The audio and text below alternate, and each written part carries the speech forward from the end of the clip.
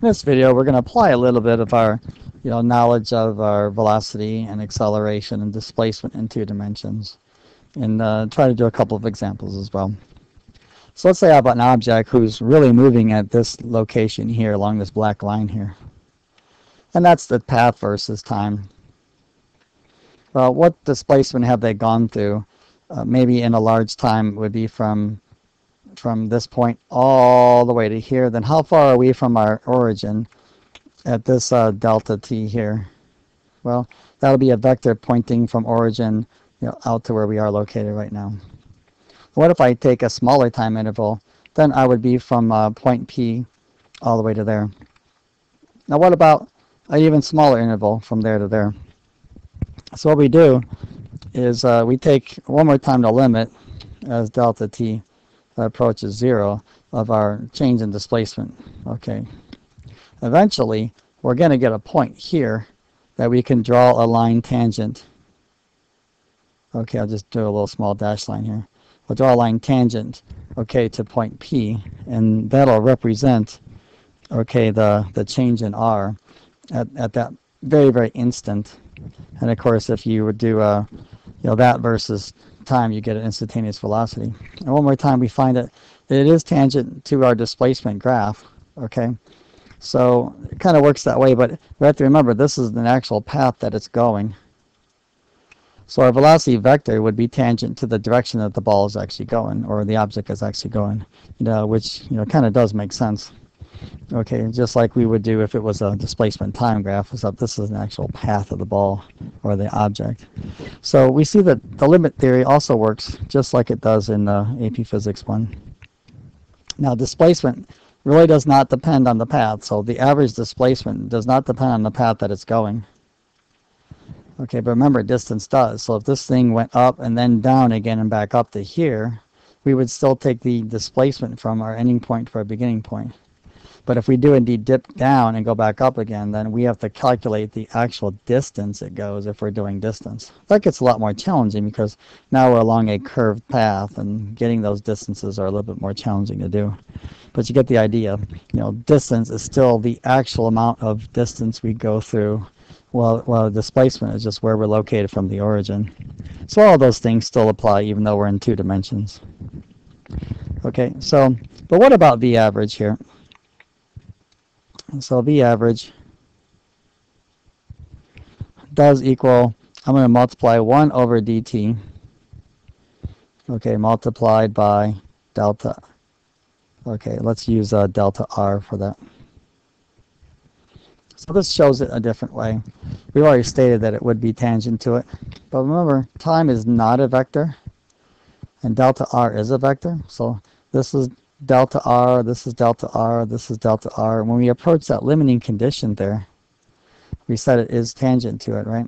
But let's take a look. If delta r is a vector, then delta r is pointing in that direction already. So if we multiply this by 1 over delta t, then the velocity has to be parallel, okay, to the actual vector that is delta r. So one more time we can see that uh, it would be true.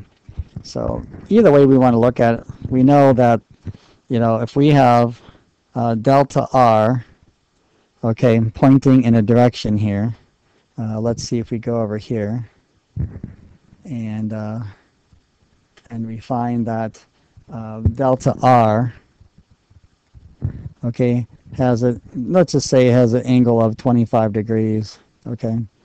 Then we know that velocity, okay, will also have a 25 degrees, okay will have a different magnitude, okay, but it still will be in the same direction as it. Okay, let's uh, take a look at at least one example, okay, in this video here and, and see what we can figure out. I always find uh, solid examples to help us make better sense out of what's going on here. So let's see, example one. Sally has a displacement equation of 5 minus 5t uh, times that unit vector i. So that means that's the path along the x direction and plus 5.5t multiplied by unit vector j. That's in the y direction.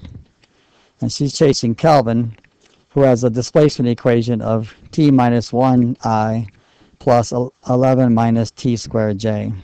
First question is, will Sally uh, catch Kelvin? Okay, and uh, is if Sally does catch Calvin, what's the angle between their velocity vectors, okay, when they actually do collide with each other? Okay, well, those are good questions. Well, we know that if Sally does catch up with Calvin, that the displacements must equal each other and must also equal each other at the proper time. So let's go ahead and solve for time. Okay, and I'll, I'll label this in the I direction right now. Put a little vector head on that. Okay, you'll find out that if I do a vector head like that, that does mean it's a unit vector. Okay, so I'm going to set 5 minus 5t equal to t minus 1. So what I've done is I've taken the x direction of Sally and set it equal to uh, Calvin.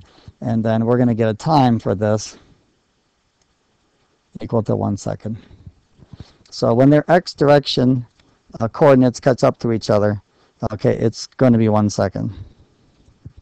Let's do likewise in the j. So vector hat like that. Okay, it looks like we have 5 plus 5 t. Okay, and that's going to equal 11 minus t squared. Now we do it with a quadratic function. I did uh, use my solver to get this, and I got t equal to one second again.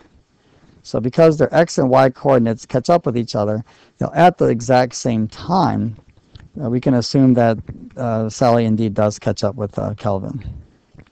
Okay, so there's our, our first way of solving it.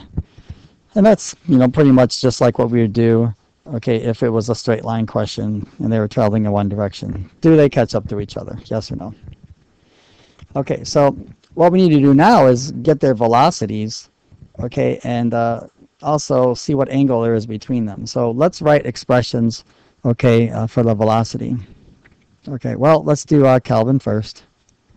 Okay, so the velocity of Kelvin then okay, is going to be the, the derivative of this equation here. So we write it like this. It's going to be d over dt. And then I'll put a bracket like this.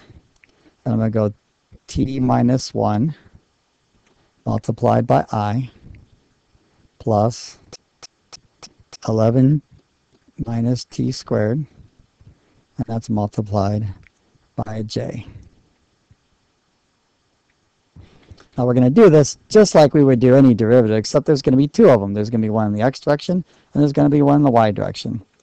The ending result of this, well, the derivative of t and negative 1 is just going to be 1i. So this is going to be i with a vector hat notation on it.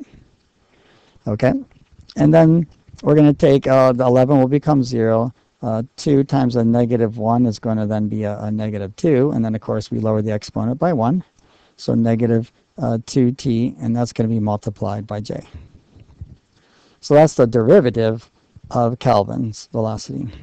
Let's do uh, Sally's. So the velocity of Sally is going to be the derivative with respect to time. I'll put a bracket around this one here. Okay, and that's going to be 5 minus 5t, and that's multiplied by i. Okay, plus 5 plus 5t. And that, of course, is multiplied by j. And let me put my little vector head on that. Okay, and uh, forgot my vector head there. Okay, what is that going to equal then? Well, it looks to me like that's going to be two constants there. So we'll have a, a negative 5 uh, multiplied by i, vector head okay, plus a 5 uh, multiplied by j. And that's how we get the velocity equations. In the next video, we'll uh, finish up with this problem and have another example problem.